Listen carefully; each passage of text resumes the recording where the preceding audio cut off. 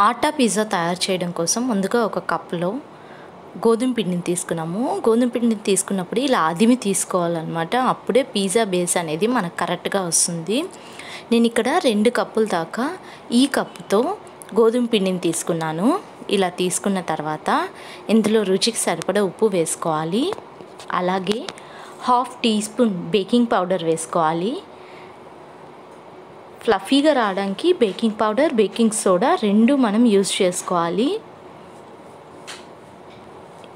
ఇక్కడ half teaspoon baking సోడాని వేసుకుంటున్నాను.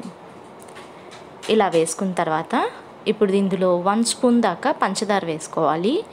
వేసుకొని ఈ మొత్తాన్ని బాగా కలిపేసుకోవాలి. చక్కెర ఉప్పు బేకింగ్ పౌడర్ బేకింగ్ సోడా మొత్తం పిండికి కలిసేలా కలిపేసుకున్న తర్వాత హాఫ్ కప్ దాకా పెరుగు వేసుకొని దీనిలో బాగా కలుపుకోవాలి. పెరుగు వేయడం వల్ల త్వరగా మనకి పిజ్జా బేస్ అనేది గోధుమ పిండితో చేస్తున్నాం కాబట్టి బాగా టేస్ట్ వస్తుంది. అవసరమైతే మనం కాసిన నీళ్ళు పోసుకొని చపాతి పిండిలాగా ఇదో ఈ వీడియోలో చూపిస్తున్న విధంగా కలిపేసుకోవాలి. ఇలా కలిపేసుకున్న తర్వాత చివరి ఆఖరిలో మనకి వన్ స్పూన్ ఆయిల్ వేసుకొని పక్కన పెట్టేసుకోవాలి మూత పెట్టుకొని ఇప్పుడు ఒక బౌల్ తీసుకొని మష్రూమ్స్ క్యాప్సికమ్ ఆనియన్స్ తీసుకుంటున్నాను. మీరు ఏ వెజిటబుల్స్ కావాలంటే ఆ వెజిటబుల్స్ని మనం పిజ్జాలో యాడ్ చేసుకోవచ్చు. వెజిటబుల్ పిజ్జా చేయబోతున్నాం కాబట్టి ఏదైనా వెజిటబుల్స్ని రెండు మూడు రకాలు వే తీసేసుకొని ఇలా ఒక బౌల్లో వేసేసుకున్నాను నేను కట్ చేసేసుకొని. ఇప్పుడు నేను టమోటాలు వేసుకున్నాను. ఇందులో రుచికి సరిపడా కారం ధనియాల పొడి ఉప్పు వేసుకున్నాము.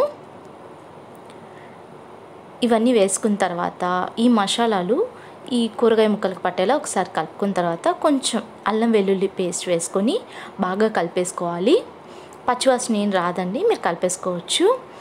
అలాగే ఇప్పుడు మనం ముందుగా కలుపుకున్న పిజ్జా మిశ్రమం ఉంది కదా ఇది ఒక నలభై ఐదు నిమిషాల నుంచి ఒక గంట పాటు నానిచ్చిన తర్వాత చిన్న చిన్న ముద్దలుగా తీసేసుకొని ఇలా చపాతీలా చేసుకోవాలి. నేను మరీ హెవీ పిజ్జా కాకుండా మీడియం సైజులో చేసుకుంటున్నాను. నా దగ్గర ఉండే ప్లేట్ ఆధారంతో అది సరిపడేంత మీడియం పిజ్జాని నేను చేసుకుంటున్నాను అనమాట మీ దగ్గర ఓవెన్ ట్రే ఉంటే ఆ సైజ్ చూసుకొని మీరు ప్లేస్ చేసుకోవచ్చు చపాతీని. ఇప్పుడు ఇలా చేసేసుకున్న తర్వాత దీనిలో ఫోర్క్తో ఇలా హోల్స్ పెట్టుకోవాలన్నమాట. ఇలా పెట్టుకోవడం ద్వారా పిజ్జా బేస్ అనేది బాగా ఉడుకుతుంది మనకి. మీరు ఇంకా బాగా మందపాటి పిజ్జా చేస్తుంటే ఒకసారి దీన్ని రెండు నిమిషాలు ఓవెన్లో కానీ ప్రీ హీటెడ్ మన సాల్ట్ ఓవెన్ ఉంటుంది కదా దానిలో కానీ హీట్ చేసిన తర్వాత అప్లై చేసుకోండి.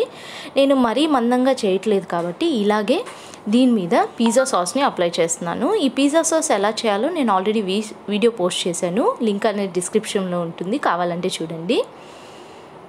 ఇన్స్టెంట్ పిజ్జా సాస్ అలాగే నార్మల్ పిజ్జా సాస్ రెండు పోస్ట్ చేశాను. ఇప్పుడు ముందుగా మనం మిక్స్ చేసి పెట్టుకున్న ఈ కూరగాయ ముక్కలు ఇంకా ఈ మసాలాని ఇలా ప్లేస్ చేసేసుకోవాలి. మనకి నచ్చినట్టు కొంచెం వెజిటబుల్స్ ఎక్కువగా ఉండాలన్నమాట. మనం ఇంట్లోనే చేసుకుంటున్నాం కాబట్టి ఇలా మనం అన్నిటినీ బాగా ప్లేస్ చేసేసుకోవాలి. ఇలా ప్లేస్ చేసేసుకున్న తర్వాత మీ దగ్గర ఆలివ్స్ ఉంటే ఆలివ్స్ని కూడా ప్లేస్ చేసుకోవచ్చు. నేనైతే ఇక్కడ ఆలివ్స్ని వాడలేదు. ఫైనల్గా చీజ్ స్లైస్ని పెడుతున్నాను. మీ దగ్గర మొజరిల్లా చీజ్ ఉంటే ఇంకా చాలా బాగా టేస్టీగా వస్తుంది పిజ్జా అనేది. ఇలా చివర్లో ఆయిల్ కానీ పాలు కానీ పచ్చిపాలు కానీ నూనె కానీ దేన్నో ఒక దాన్ని వేసేసుకోండి. ఇలా వేసుకోవడం ద్వారా పిజ్జా అనేది మనకి చక్కగా ఫ్రై కార్నర్లో కూడా ఫ్రై అయినట్టుగా కుక్ అయినట్టుగా బాగా టేస్టీగా వస్తుంది.